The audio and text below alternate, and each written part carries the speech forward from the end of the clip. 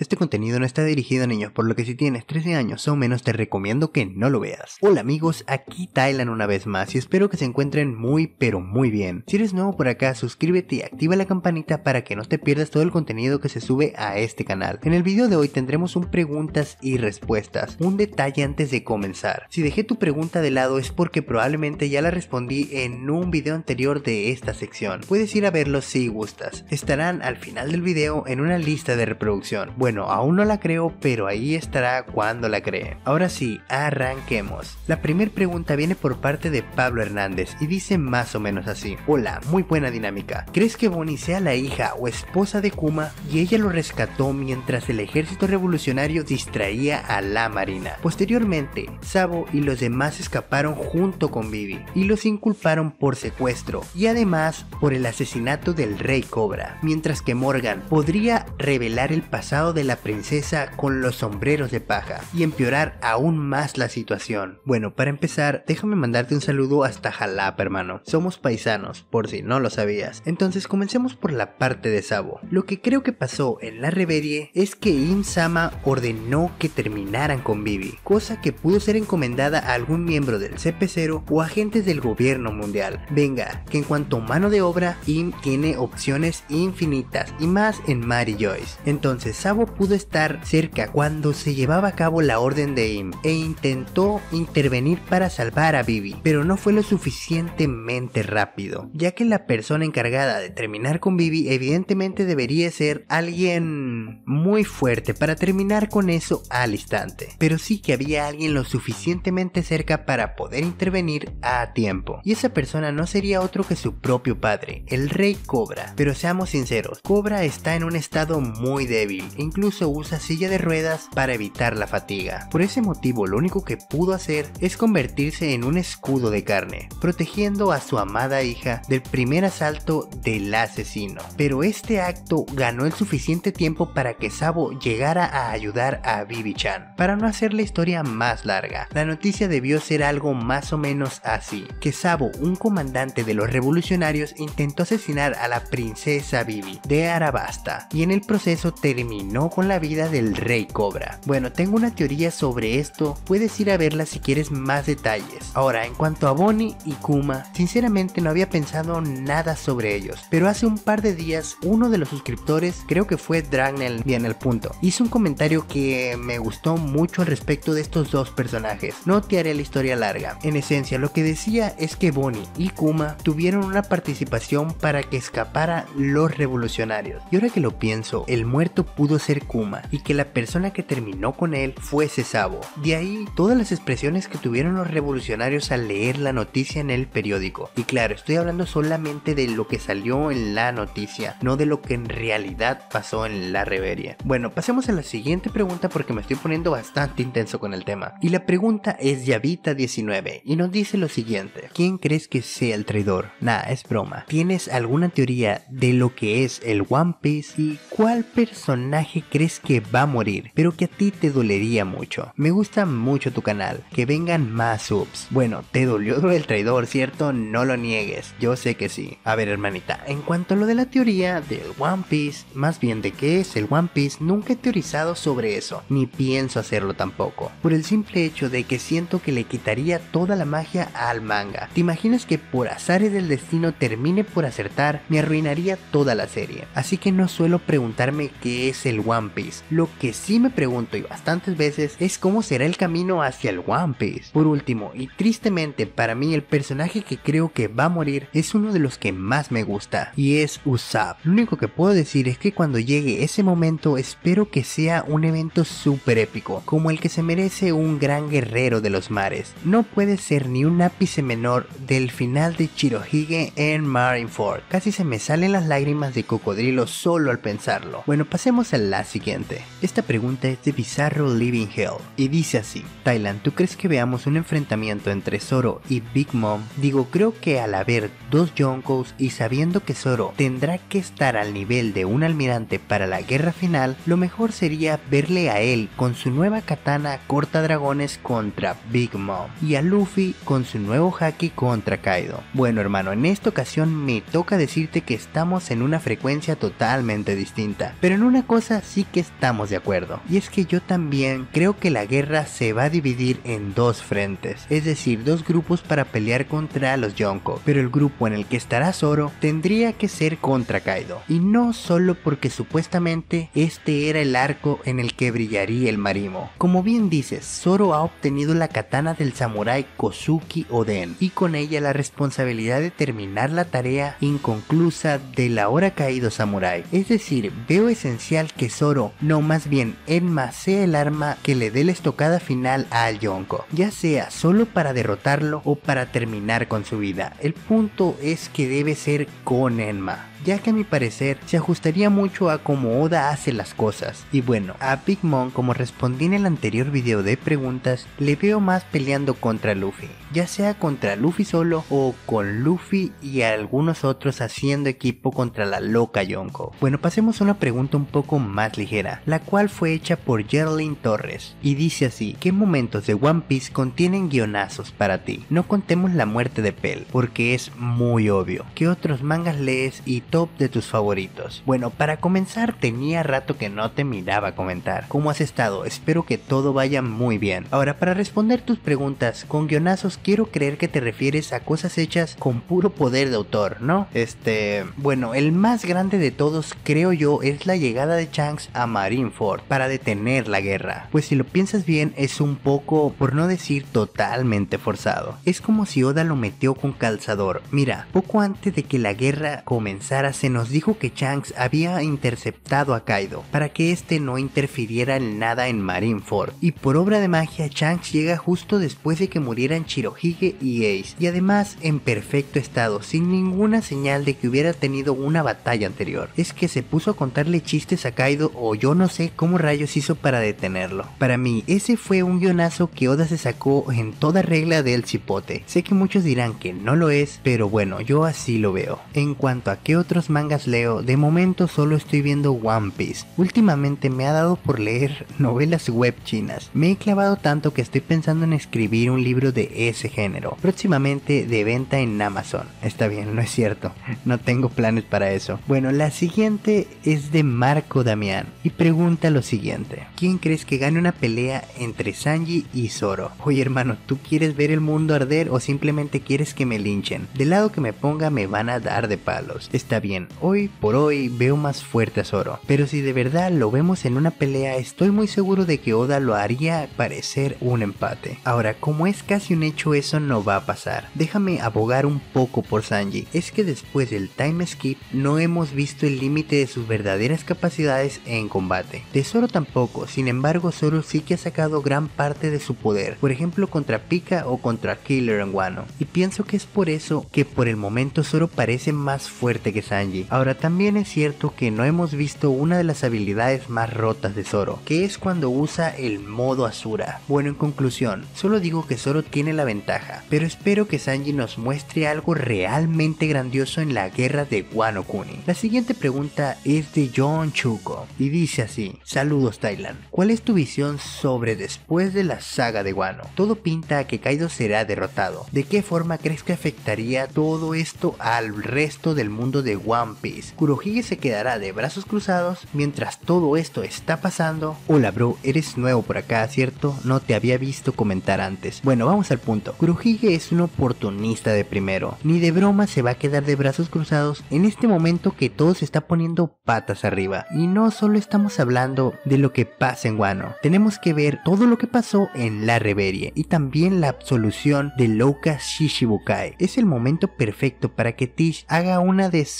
maniobras por lo general bastante sucias y muy pero muy astutas. Y yo veo dos posibilidades. La primera suena muy fuerte en el fandom. Es que Kurohige se dirige a conseguir la mera mera no me. Aunque esto está un poco difícil. Pues para esto debería de estar morido Sabo. O en su defecto capturado. Pues no sabemos cómo exactamente lo hace Teach. Pero se puede hacer con las frutas del diablo de otros usuarios. Claro, todos suponemos que es matando al usuario anterior. Ahora, dejadme agregar la que yo creo en lo personal. Kurohige se dirige por el arma ancestral Plutón, la cual todos suponemos está en Narabasta. Claro, para esto tienen que suceder un par de cosas. Primero, lo que dije de Vivi en la primer pregunta de este video. Lo segundo sería dónde saca la información, lo cual creo puede venir de Okiji. Bueno, no me voy a extender, si quieres más detalles tengo una teoría sobre cuál es el objetivo de Barba Negra. Es de las primeras teorías, por lo que la deberías encontrar hasta el fondo de los videos de este canal. Bien, pasemos a la siguiente. Ah, mira, esta es muy interesante y es por parte de By Cirito 24. Saludos, pregunta, ¿crees que Jinbei esté vivo o muerto? Si está vivo, ¿cuál crees que sea su situación actual? Bueno hermano, hagamos esto de manera rápida para que sea menos doloroso. Big Mom se lo comió en unos rollitos de sushi.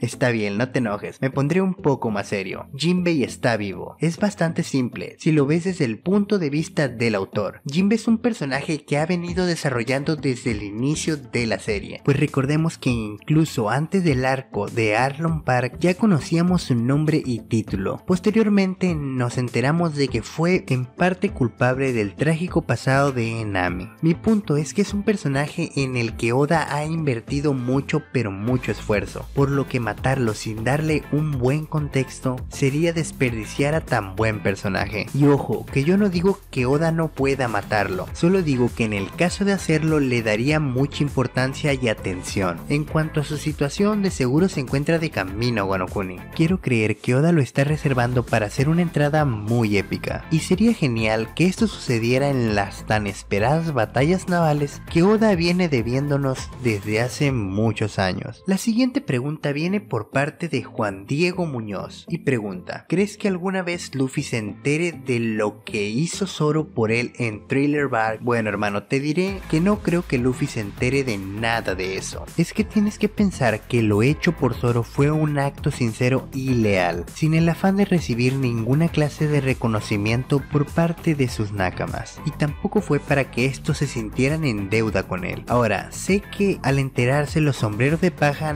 nada cambiaría, pues por algo son camaradas, pero en cuanto al valor argumental perdería mucho esa escena. Y lo que es más, puedo apostar lo que quieras a que Luffy no quiere que sus nakamas tiren sus propios sueños a cambio de que él pueda cumplir el propio. No sé si me estoy dando a entender, pero en resumidas cuentas, eso le restaría valor a la obra en lugar de sumarle. Entonces, la siguiente es de Toxic Creative y dice así: ¿Cómo estás, Thailand Senpai? Otra vez yo. Bueno, sabemos que en este arco de Wano se unirá Jinbei a la tripulación de los sombreros de paja. ¿Crees que en esta saga se unirá un Nakama más a los sombreros de paja? Si así, ¿cuál sería tu candidato? Siguiente pregunta. Después de la batalla que se llevará en Wano, ¿crees que los Minks y los samuráis serán aliados de Luffy o serán parte de la gran tripulación pirata? Saludos desde Perú. Hola hermano, ¿cómo va toda la situación por Perú? Espero que dentro de lo que cabe todo vaya bien. Y vaya qué pregunta más difícil me haces. A pesar de que muchos dicen que serán solamente 10 nakamas, yo pienso que serán 12. Y Luffy será el treceavo miembro de la banda de los sombreros de paja. Teniendo Jinbei en cuenta nos faltarían 3, los cuales para mí son un representante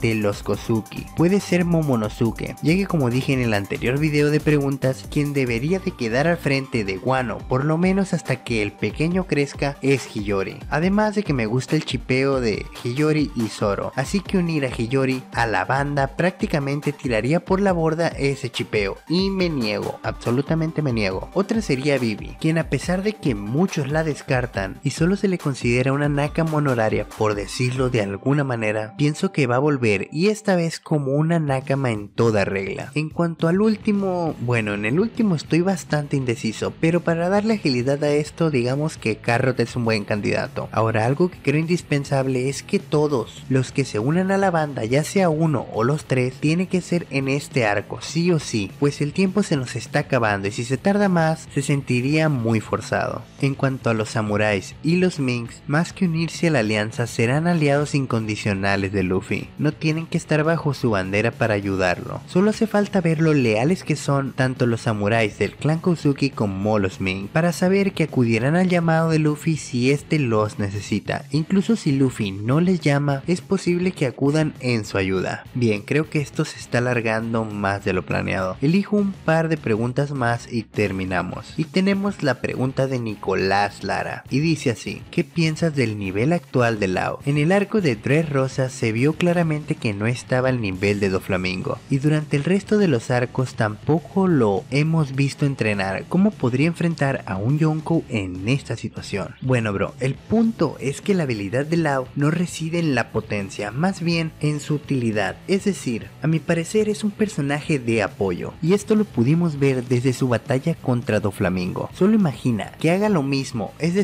hace que Luffy pase de un lugar a otro en un instante, haciendo que pueda dar un ataque total desde un punto ciego para el enemigo. Ahora subo esta apuesta. Si lo puede hacer muchas veces durante la batalla contra los Yonkos, con esto no solo podría ayudar a derrotar a uno de los Yonkos, sino a los dos. Eso sin contar las otras habilidades de su fruta del diablo, las cuales están bastante rotas. Y en cuanto a su poder puro, lo veo por encima de un vicealmirante promedio. Pero claro, no lo podemos comparar por ejemplo con vicealmirantes como Gar, porque simplemente lo medio mata. La siguiente es de Jin Mastache y dice, detenerla, ¿cuál crees que sea la habilidad del nuevo almirante de la marina? Saludos, quería preguntar más, pero con esta ya está. ¿Qué te diré hermano? No me lo había planteado para decir la verdad, pero siguiendo un razonamiento lógico, antes del time skip, los tres almirantes tenían una fruta logia. Después del salto temporal, hemos visto que Fujitora cuenta con una fruta para Mesia y Kizaru con su fruta logia que ya conocíamos. Entonces, quiero suponer que para Green Bull Oda ha preparado una Zoan, pero tiene que ser una mitológica para compararse con las otras frutas tan rotas que tienen los otros dos almirantes